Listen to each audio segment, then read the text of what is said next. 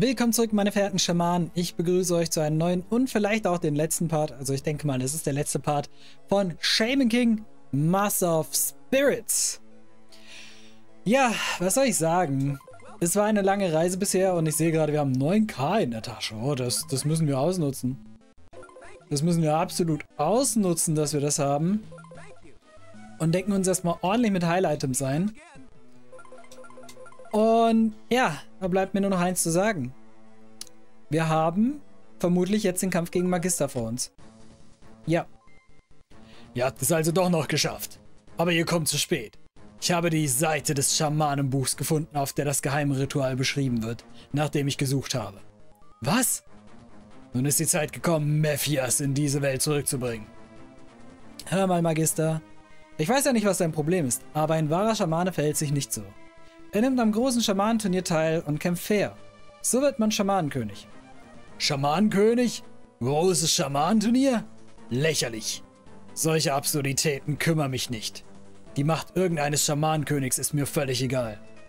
Wieso willst du dann Mephias wieder zum Leben erwecken? Um jeden einzelnen von euch abscheulichen Schamanen vom Angesicht der Welt zu tilgen. Ihr habt meine Familie zerstört. Wovon redest du? Meine Familie war dereinst eine Familie von Schamanen mit unvergleichlichem Furioku. Aber wir mochten das Kämpfen nicht. Deshalb weigerten wir uns, am großen Schamanenturnier teilzunehmen. Wir haben einfach friedlich vor uns hingelebt. Doch die Schamanen dieser Welt fühlten sich von unserem gewaltigen Furioku bedroht. Daher kamen sie zu unserem Haus und vernichteten unsere Familie. Meine Frau, meinen Sohn. Deshalb werde ich Mephias Macht einsetzen, um euch barbarische Monster auszulöschen. Ihr denkt nur an euch selbst. Das ist eine schreckliche Geschichte, aber die Schamanen, die an diesem Turnier teilnehmen, sind nicht alle böse. Wenn die Verbrecher, von denen du sprichst, daran teilnehmen, dann werde ich dir helfen, sie zu bekämpfen. Aber du solltest dich beruhigen, Magister. Okay. Wir haben dieses klassische, alle Leute, die X-Rolle angehören, sind böse. Prinzip hier, wie es aussieht. Und es ist schön, dass wir das kurz vor Ende des Spiels erfahren. Sei still! Jeder Schamane auf dieser Welt ist mein Feind. Alles steht bereit für die Wiederauferstehung von Mephias. In wenigen Augenblicken wird er sich erheben. Was? Ich werde euch in die Flammen des Infernos schicken. Okay, erstmal... Wir haben noch Mama ausgerüstet, das sollte ich vielleicht mal ändern. Ich denke, wir können jetzt ganz gut mit... Ja? Oh. Oh, okay. Ist das ein bisschen wie der Todkampf aus Castlevania? Äh, Bloodlines? Wo man sich für die richtige Karte entscheiden muss, um den... Oder beziehungsweise es nicht die richtige Karte, sondern... Irr. Sondern... Äh, man muss eh fast alle Karten durchgehen im Kampf gegen Tod in Bloodlines. Du machst viel Schaden. Oh mein Gott, wie soll ich... Wie soll ich... Manchen kann man hier nicht so einfach dodgen.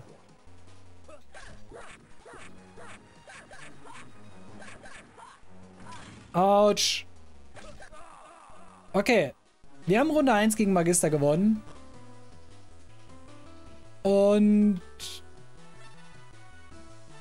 bekommen die letzte Schamanenbuchseite, aber unser Leben wird nicht wiederhergestellt. Wie? Wie konnte ein Winzling wie du mich besiegen? Sag nichts, wir müssen dich ins Krankenhaus bringen. Hahaha, du bist so ein naiver Narr.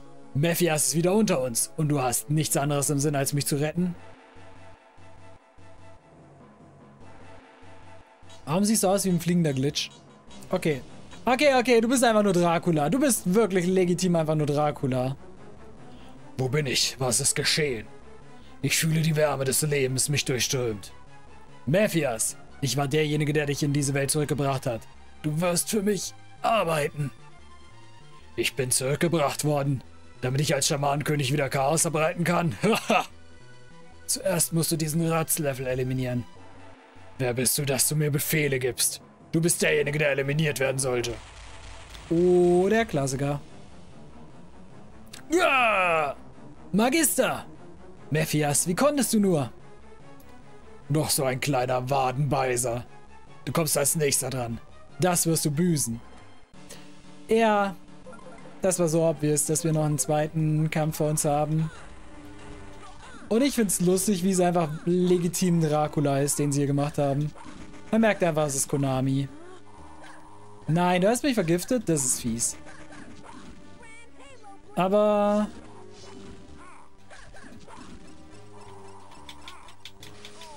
Au, okay. Das war mächtig viel Schaden. Ich esse mal den Hotdog. Bisher kann ich dich ganz gut spammen. Und das ist vermutlich Phase 2.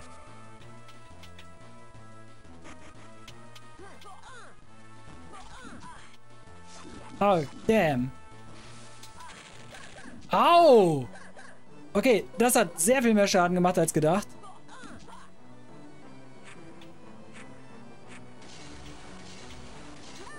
Ey, come on, das hat nie und immer getroffen. Was sollte das denn auf einmal? Aber gut, dadurch, dass du mich niedergeschlagen hast, haben wir glücklicherweise den Angriff abwehren können. Okay. Ah, zwei Felsenticks abzubekommen war ein bisschen blöd. Ah, man bekommt viel zu viel Passivschaden.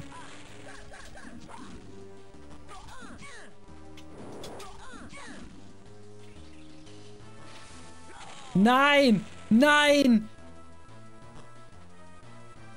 Das ist doch Arsch. Okay, okay, okay, komm. Komm, laber nicht so lange, Jo. Ich will sofort wieder den Kampf gegen Magister starten.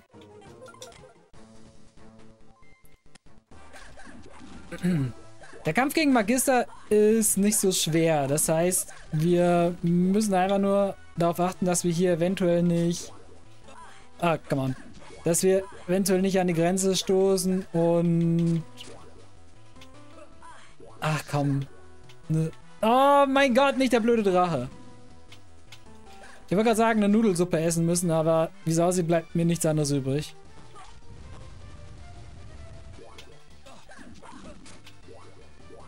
Oh, wait, ich hatte ja noch Mama ausgerüstet.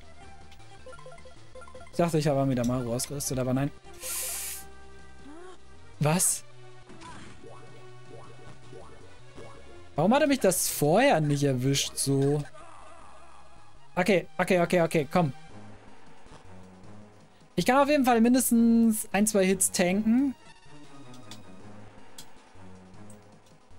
Bevor ich eine Nudelsuppe essen muss. Das heißt, wir starten mit einer Nudelsuppe mehr in diesen Kampf. Okay, nevermind. Ein Hit kann ich tanken. Aber ist nicht schlimm. Zum Glück hast du keinen Body Damage. Das heißt, ich kann dich wirklich erstmal richtig hart spammen und in der drin stehen. Wie aussieht, triffst du mich nicht so ohne weiteres. Ah, okay, Gift. Okay. Okay, wir sind direkt in Phase 2. Sehr gut.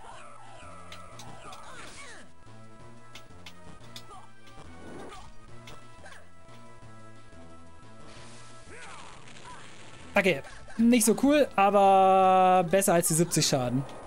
Lieber 16 von dem Felsen als äh, 70 Schaden von dem Schwert. Okay, ich muss auf mein Leben achten. 98. Ich überlebe auf jeden Fall den nächsten Schlag, falls er mich treffen sollte. Gut. Ähm, hier ist ein Hotdog.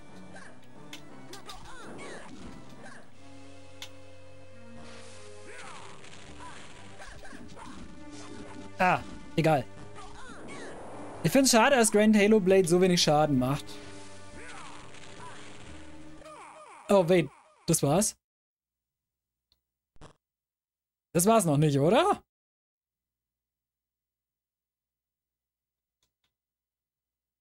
Das war's noch nicht, oder? Wie? Ich bin der Schamanenkönig. Wie konnte so ein kleiner Floh wie du mich besiegen? Du musst Mitgefühl haben. Die Kraft deines Schamanen kommt aus seinem Herzen, nicht aus dem Zorn. Und jetzt ist die Besucherzeit vorbei. Mein Körper, er verschwindet. Hilf mir, bitte. Ich will nicht zurück in die Finsternis. Hilf mir.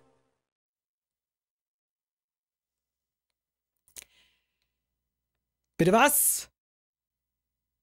Das war das Ende?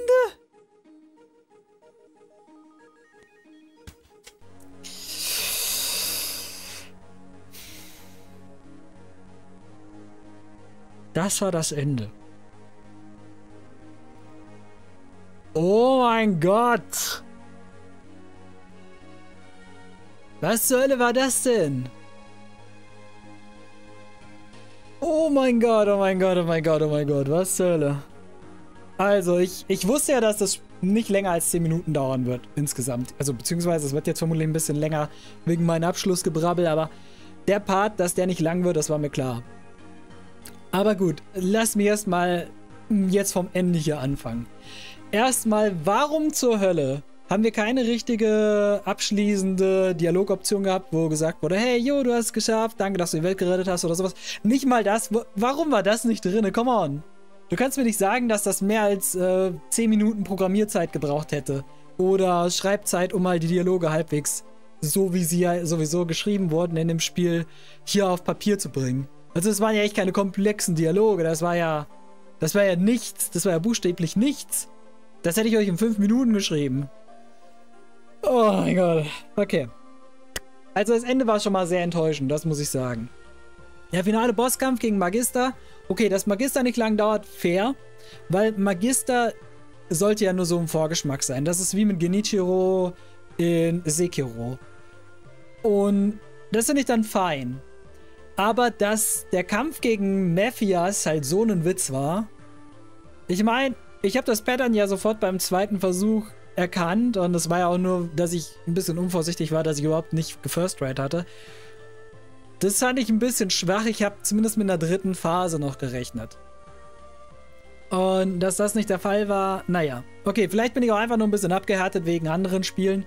Oder zu sehr gewöhnt, dass Dracula aus Castlevania Games halt so viel schwieriger ist als das, was wir gerade erlebt haben.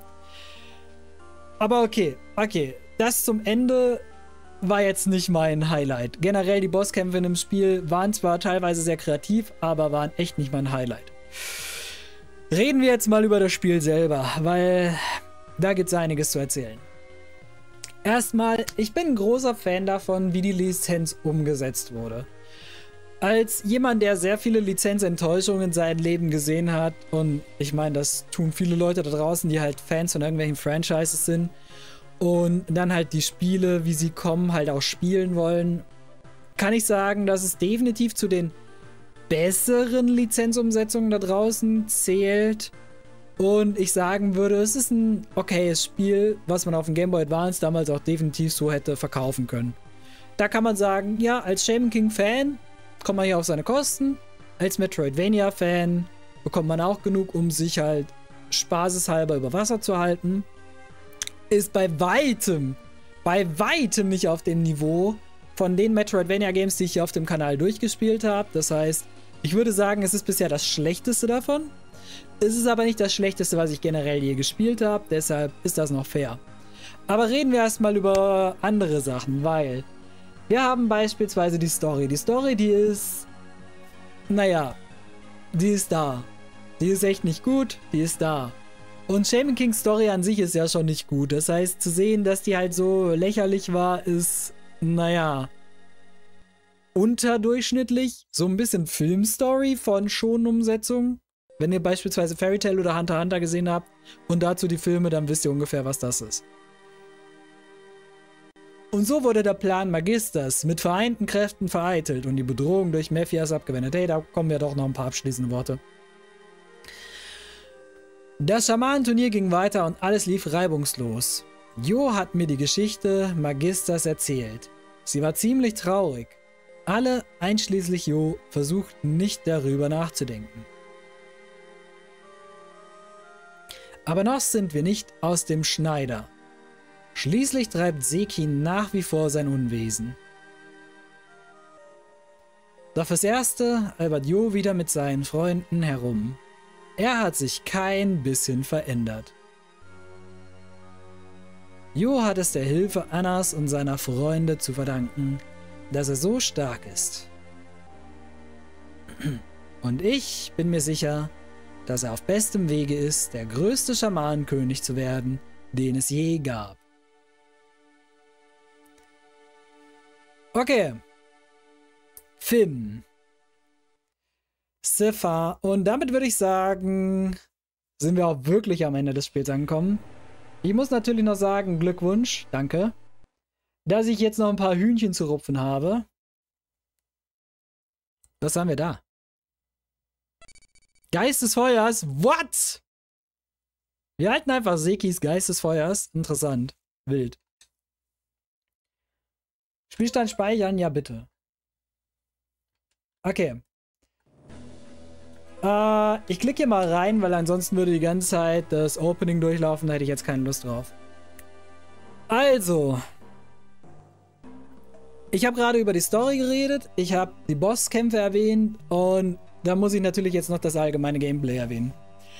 Aus der Sicht eines Metroidvania-Liebhabers, der halt auch schon viele, viele Titel diese Richtung durchgespielt hat, muss ich sagen, dass es hier sehr, sehr, sehr, sehr, sehr, sehr schwierig ist, das einzuschätzen.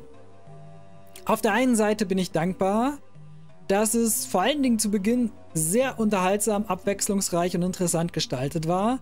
Und die Einbindung von den Geistern als Fähigkeiten, um halt die einzelnen Leveln zu überwinden, das ist kreativ gelöst, wenn auch bei manchen mehr oder weniger gut gelaufen. Also vor allen Dingen halt durch die ganzen Einblendungen, das ist so eine komische Sache, dass man nach jedem dritten, vierten Mal einsetzen erneut den Geist gesehen hat.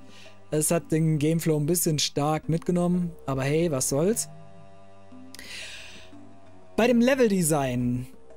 Viele Level in dem Spiel fand ich waren, ich sag mal, entweder auf dem durchschnittlichen Niveau, wo man sagt, okay, man erkennt sofort, was man zu tun hat und man kommt da halt problemlos durch oder halt mit ein paar gewissen Abstrichen.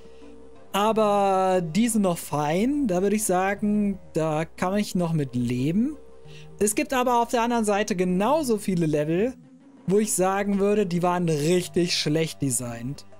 Und als jemand, der natürlich die Castlevania Anniversary Collection durchgespielt hat, kann ich euch sagen, dass selbst viele der alten Castlevania Games besseres Leveldesign hatten als Master of Spirits, was fast 20 Jahre nach diesen Castlevania Games von demselben Entwickler kam. Und man sieht ja, dass Konami hier auf Bing umbrechen sagen wollte, ja, es ist ein Castlevania, nur halt mit der Shaman King Lizenz. Aber gleichzeitig haben sie halt so viele dermaßen krasse Leichtsinnsfehler gemacht, die sie nicht mal beim ersten Castlevania Game gemacht haben.